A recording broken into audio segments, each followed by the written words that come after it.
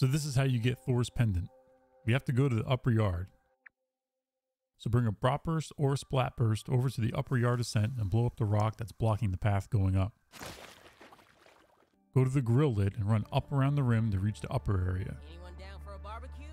Run all the way over to the fallen stump in the upper yard. Run up the back corner of the stump and up the mushrooms. Jump over the stump and then over to the chunk next to you. Run up the stump a little bit.